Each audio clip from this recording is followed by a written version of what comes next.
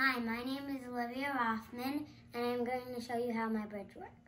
So, this is a counterweight, and this is a counterweight, and you put them down here, so the bridge can go up, and the boats can go under. And when you want the trains to go across, you put it down, you put the counterweight here, and this goes down, so the train.